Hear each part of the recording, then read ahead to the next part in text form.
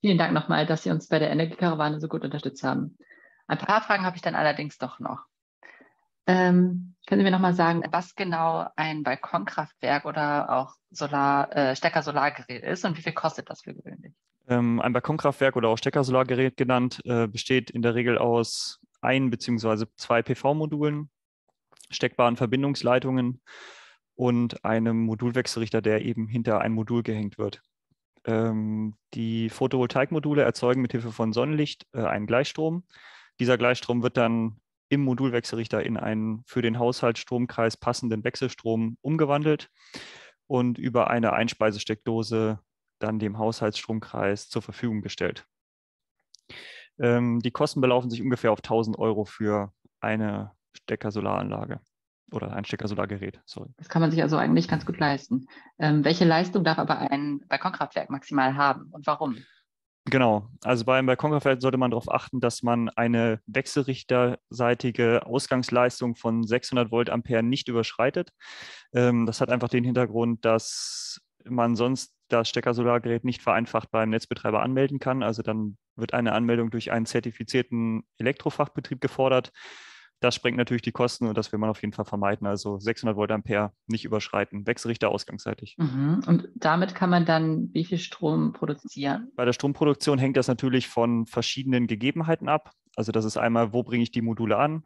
Was ist die Ausrichtung? Was habe ich für einen Sommer? Ähm, ist es natürlich äh, der Neigungswinkel interessant.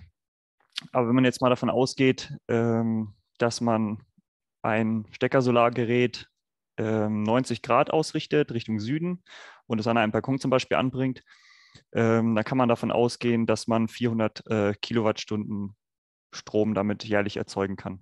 Mhm. Sie haben gerade eben schon von der Anmeldung geredet. Wie funktioniert das genau? Genau, die Anmeldung ähm, ist in der Regel ein PDF, was man sich beim Netzbetreiber runterlädt. Da muss man dann die ganzen Daten des Steckersolargeräts eintragen. Man muss ähm, Zertifikate dem Netzbetreiber zusenden. Und dann akzeptiert er in der Regel auch die Anmeldung, wenn alles halt vorschriftsmäßig äh, aufgebaut ist. Ähm, zusätzlich muss man das Ganze noch beim Marktstammdatenregister anmelden. Dazu muss man auf die Internetseite des Marktstammdatenregisters gehen und dann da eben auch die Daten nochmal eintragen.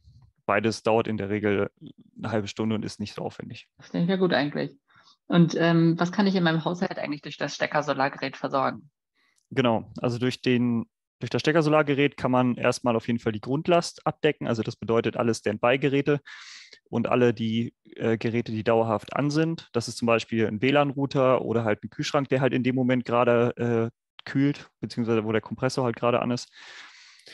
Und äh, alle Geräte, die halt so in diese Richtung gehen. Ähm, zum Beispiel, was ich damit nicht versorgen kann, ist ein Föhn, der jetzt 1800 Watt hat. Ähm, den kann man halt nur teilweise versorgen. Dann. Ähm, und wo kann ich dieses Balkonkraftwerk eigentlich genau anbringen? Ähm, anbringen kann man das mehr oder weniger, wo es einem passt. Also kommt halt darauf an, welche Flächen man zur Verfügung hat. Ähm, oft wird es am Balkongeländer angebracht. Ähm, natürlich mit einer entsprechenden Halterung am Balkon.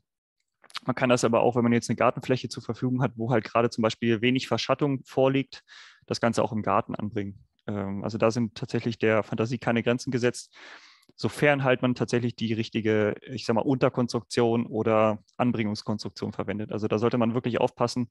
Äh, es kann sehr gefährlich werden, wenn diese Module zum Beispiel falsch angebracht sind und dann ein Modul vom Balkon runterfällt bei starkem Wind. Ah ja, das wäre echt unschön. Muss ich bei der, beim Einbau und der Installation eigentlich noch irgendwas beachten oder hatten Sie da jetzt eigentlich alles schon gesagt? Genau, also beim Einbau und bei der Installation muss natürlich beachtet werden, dass man eine sogenannte Einspeisesteckdose verwendet. Ähm, die ist nach aktuellen VDE-Richtlinien vorgeschrieben. Und man sollte, man muss äh, beim Netzbetreiber einen Zwei-Richtungszähler beantragen, beziehungsweise man muss diesen nicht beantragen, wenn man ihn schon hat. Also diese alten Ferraris-Zähler oder in Anführungszeichen alten Ferraris-Zähler, die mit dem silbernen Drehrad, äh, sind für den Betrieb eines Steckersolargeräts nicht zugelassen, weil sie eben den Effekt hätten, dass sie sich zurückdrehen. Und äh, das ist in Steu Deutschland Steuerhinterziehung. Und dementsprechend wird ein Zweirichtungszähler gefordert der aber auch übrigens von den Übertragungsnetzbetreibern, ähm, ich sag mal, es wird ein Messkonzept äh, bzw. eine Bilanzierung gefordert und deswegen müssen die Verteilnetzbetreiber sich daran auch halten. Ja, super, da weiß ich jetzt eigentlich komplett Bescheid. Ähm, ich danke Ihnen für dieses Interview und wünsche Ihnen dann noch einen schönen Tag. Jo, danke, wünsche ich Ihnen auch. Tschüss. Jo, tschüss.